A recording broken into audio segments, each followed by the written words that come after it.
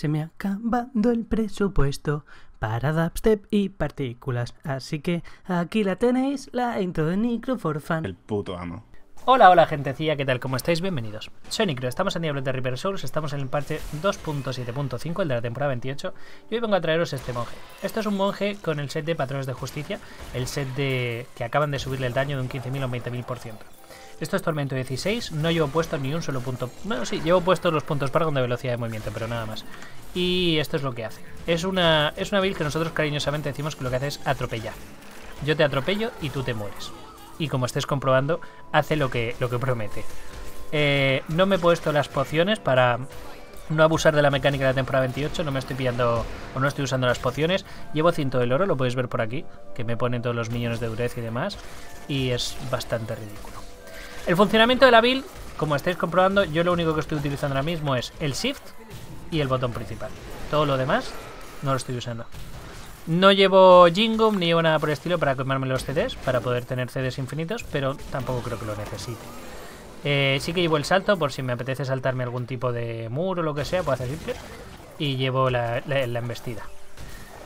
Eh, Patrones de Justicia es una build que igual que hace esto aquí, eh, lo puede hacer en fallas 100, 105, 110 si le metéis un poquito de inversión y luego sirve para hacer fallas superiores.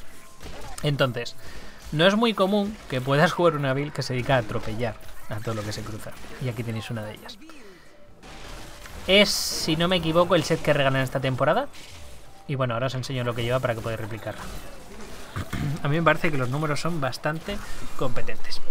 La estoy jugando tal y como se jugaría si la lleváramos en solitario, es decir, que cuento con que el seguidor lleva algunas cosas. Bien, Patrones de Justicia es el set que nos van a regalar, que nos daría un bufo a Soy Penguin, que es esto de aquí, que es el circulito que llevamos alrededor. Nos da también un bufo a Temper Rush, que es que mientras atacamos con Temper Rush, que sería vuelo del dragón, que es esto de aquí, nos reduce el daño un 50%. Y mientras llevemos cargas de vuelo del dragón, nos da un 5% de velocidad de movimiento por cada carga. Llevamos 3 de base y 10 más que le sumamos con esto. En total le acabamos de meter 13, con lo que ganamos un 65% de velocidad de movimiento. Lo que nos da el conjunto 6 es, primero, ambas habilidades obtienen un 20.000% de daño. Pero es que cualquier otra habilidad que me dé la gana usar también obtiene el mismo multiplicador de daño. Es bastante bestia. Bien, ¿Cómo potenciamos este set? Lo primero que vamos a hacer es ponerle un Geopardy, un yelmo y un brazal. Geopardy hace que pasemos de tener un millón de DPS a, de hecho, un poquito más si contamos con, esto, tendríamos unos 800.000 a 3 millones. Entonces Geopardy nos aumenta muchísimo los atributos. También Geopardy pasamos de tener 300.000 de vida a tener 600.000 de vida. Nos dobla la vida. Nos, básicamente nos duplica los atributos. Es una barbaridad. Además de eso vamos a llevar un Pitusa para aumentar nuestro daño, nos dobla el daño. Llevamos también por aquí un Zodíaco para reducirnos el CD a la mitad. Llevamos un, un Jordan a físicas, porque vamos a físicas, todo con daño físico. Y luego las armas que llevamos son un Wonky Lao, para que cuando yo tire vuelo del dragón me eh, meta a todos los enemigos encima. Y llevamos por aquí esto. Por cierto, podemos hacer un pequeño cambio en la build si queremos. No lo voy a hacer, pero podemos hacer un pequeño cambio en la build. Que es que eh, nos está tirando vuelo del dragón eh, el golpe ciclónico encima. Si lo equipas, te elige la, tú eliges la runa. Entonces pasaría a tener un radio de 24 yardas a 34 yardas o pasaría a curarte mientras lo estás haciendo o pasaría a los enemigos, etcétera, ¿vale? Sencillamente que lo tengas en cuenta que si me equipo la runa, va a, ponerme la runa que yo quiera. Normalmente lo que se hace es esto. Esto que yo llevo ahora mismo, ahora lo veremos, pero esto básicamente me está aumentando daño un 30%. En lugar de esta habilidad, lo que podemos hacer es ponernos esta con eh, implosión, ¿vale? Y ya está. Solo la llevaríamos para que esté presente y ahí seleccione la runa. Con lo que esta habilidad no lo usaríamos, esta habilidad no lo usaríamos, esta habilidad no lo usaríamos y esta habilidad no lo usaríamos. Literalmente solo salto y tiro eh, vuelo del dragón. Bien, Llevaremos una Taeguk, que la Taeguk básicamente nos está aumentando cada carga, nos está aumentando el daño y en la armadura según va ganando cargas. Es de lo mejorcito que puede llevar esta build. Llevaremos una don del acaparador, que nos da un montón de oro y nos sirve para farmear un poquito de oro y, de velocidad de movimiento. Y en último lugar, yo he creído que podía ser interesante ponernos una molleja. La molleja lo que nos está aportando es un escudo, un escudito que se nos pone encima, en este caso es de 70.000, para proteger el pitusa. En esta temporada no sería tan necesario ese escudo porque tenemos con el altar de los ritos este nodo de aquí que dice que cada vez que cogemos una esfera ya nos pone un escudo. Así que no nos haría falta, pero podemos tener un 25% de nuestra vida como escudo. Que es bastante, está muy bien, son 200.000. Así que si queréis, en lugar de pillaros la molleja, la podéis cambiar por otra cosa que os dé más daño. Podéis ganar más velocidad de movimiento poniéndoos una corona de rayos o podéis ganar más daño poniéndoos una apresados. Voy a probar con esta para que lo veáis.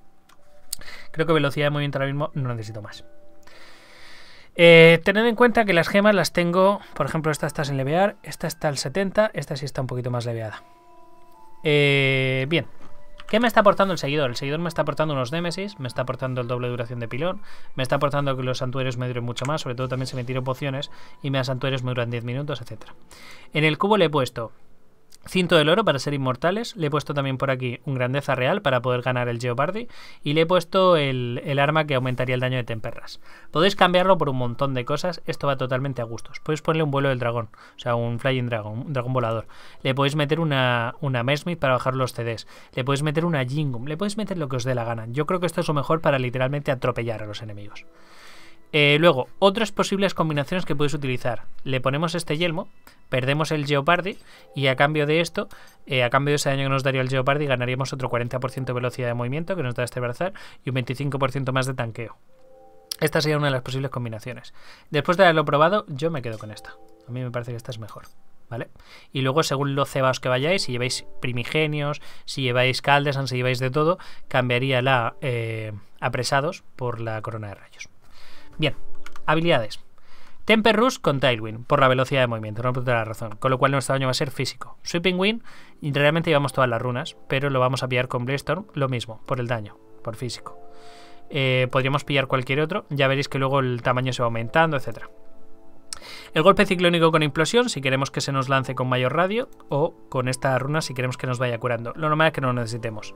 Luego llevamos por aquí el salto, el dashing, con extra velocidad de movimiento Llevamos por aquí también el Wheel of Commission con Annihilation, que nos da otro 30% de velocidad de movimiento. La Epifanía con Velo Desértico, que nos reduce el daño un 50% y nos regenera recurso. Determinación, extra de daño, extra de daño, reducción de CDs y pasiva supervivencia. Vale, vamos a suponer que estáis empezando la temporada, que vais flojitos. Si vais flojitos, quitamos el mantra convicción, que básicamente es velocidad de movimiento, y ponemos salvación con agilidad. Quitamos este salto y ponemos este que nos da dodge, nos da probabilidad de esquivar. Y quitamos el golpe ciclónico este y ponemos este que nos está curando. O en su lugar, si nos falta daño, ponemos esto, el, destello que nos da un 30% más de daño. Este destello, cuando lo tiramos, pop, nos sube el daño un huevo, casi un millón. Vale, en mi caso, como yo creo que voy bien, eh, no voy a llevar Paragon, pero no tengo malos ítems. Voy a poner extra velocidad de movimiento aquí, extra velocidad de movimiento aquí y aquí la comodidad de llevarle el golpe ciclónico, ¿vale? Para que lo veáis. Listo. Esta sería la cosa tal y como yo la dejaría. Mecánica. Autocasteamos la epifanía. Esto ya está de forma pasiva. Nos lanzamos el, esto, el Super Win, que el cinturón va a hacer que se nos quede permanentemente. Nosotros no tenemos que hacer nada. Y este no tenemos que tocarlo para nada. Se va a lanzar solo con el One Kill Así que toda mi mecánica es pulsar el Shift y darle al botón principal. Y ya estaría. Esa es toda mi mecánica. El, como podéis ver, cuando caen alientos o lo que sea, la pet me los recoge. Lo único que yo voy a tener que lootear va a ser los legendarios. Ah, por cierto, los Pargon lo llevo quitado. Para que no haya confusiones. Y ya estaría. Aquí como podéis comprobar, eh, es una build de 100% estar con el cerebro apagado, de yo me muevo y tú te mueres. Si mantienen la mecánica de la temporada, que es probable que la mantengan, ya sabéis que cada vez que os tiréis una poti, pop, os va a cantar, por ejemplo aquí me acaba de dar un protector. Pues eso significa que ahora durante un par de minutos voy a tener el, el Pitus al 100%. Que nos dan un santuario, pues la mayoría de los santuarios nos van a bufar un montón. Vamos a ir tan rápidos que la pet va a tener problemas para poder recogerlo todo. O sea, realmente esto es una competición a ver cuánto le podemos hacer la puñeta a la pez. Por la velocidad a la que nos movemos. Vamos a ver si está por aquí abajo la salida, que creo que sí. Es absurdísimo. Que de hecho, con un pequeño parche que le voy a hacer dentro de poco, la voy a meter más o menos igual a hacer fallas superiores. ¿Os imagináis cómo hace esta mierda fallas superiores? No tiene ningún sentido. Pero ningún sentido. Bien, vamos a hacernos otra más para que quede claro y ya estaría. Yo si jugáis Tier 16 con monje, fíjate que hay cosas que que están fuertes esta temporada, pero como el monje, pocas. Nos ponemos en autocasteo el el este. Activamos esto y para adelante. Ahí tenemos un pilón. Nos han caído dos pilones. Hostia, muérese. No tiene ningún puto sentido. Eh, no tenemos que hacer nada, es que es tan simple, pero tan efectiva. Habrá por ahí quien piense, joder, es que Natalia ahora mismo hace algo parecido. Es cierto, pero es que a Natalia le han reworkeado entero. Este lleva así desde hace un montón de tiempo. Lo único que le han hecho es cambiarle un 15.000 por un 20.000. ¿Sabéis la cantidad de combos extras que se pueden sacar con esto y que no hemos pensado?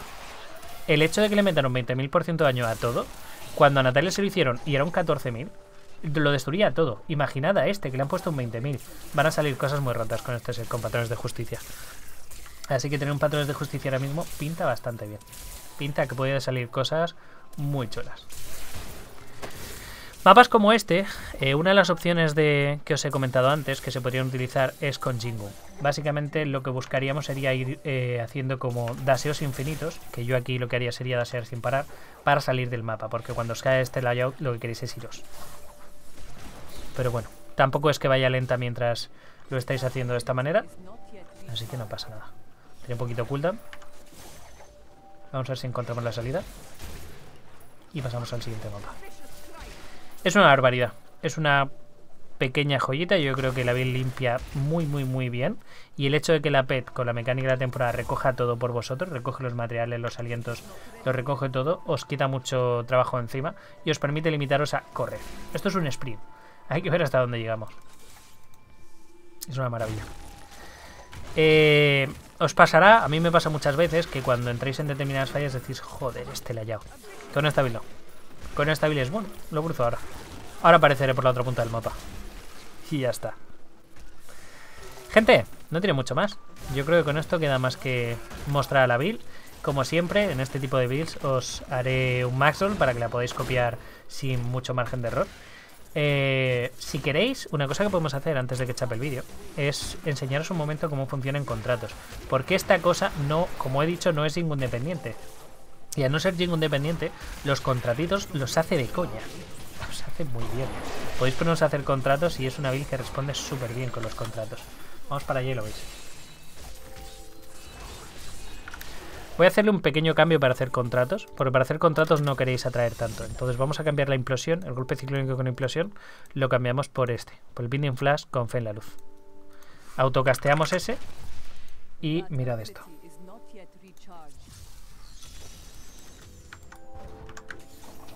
Vale. Cada vez que yo salte, aunque yo esté bloqueando los autocasteos teniendo esto de aquí pulsado, cada vez que yo salte, me va a lanzar los autocasteos. Porque el salto, el dash, eh, desbloquea los autocasteos. Entonces yo cada vez que los cooldown, hago un salto. Contactos del tipo, encuentra a no sé quién. Eh, ve a no sé dónde y mata a un bicho. Este tipo de contratos te los hace a toda hostia. Es el tipo contrato de encuentra a este boss y, y one Te los hace súper rápido, de verdad. Por ejemplo, Aranai, que es un contrato que evitamos siempre porque es un contrato que suele ser como muy molesto. Hay demasiadas cosas por medio que nos bloquean el camino. Vamos a ver lo que se tarda en matar a Aranai. En un santuario. No es Ina ni nada por el estilo, que lleva un montón de santuarios funcionando en paralelo, pero no va mal. ¿Esto es un goblin? Sí. Se ha muerto él solo. Yo no le he hecho nada, ¿eh? Se ha muerto él solo. Típico contrato que esquivamos todos porque encontrar a Ana suele ser molesto. No se queda ni un solo élite vivo. Y aquí la tenemos. Otro élite muerto. Y aquí está Ana. A ver lo que tardamos en matarla. No le da tiempo a huir. Vamos a probar otro, ¿no? Los contratos los hace genial. Y además la seguidora, tal cual la equipamos, nos eh, aporta un montón de utilidad. Si queréis hacerlo en party no hay ningún tipo de problema. Cuando lo vayáis a hacer en party hay ajustes para que la build sencillamente vuele. Ya está, otro contrato hecho. ¿Sois conscientes de lo que estamos tardando en hacer los contratos? Es que no se tarda nada. Es la hostia.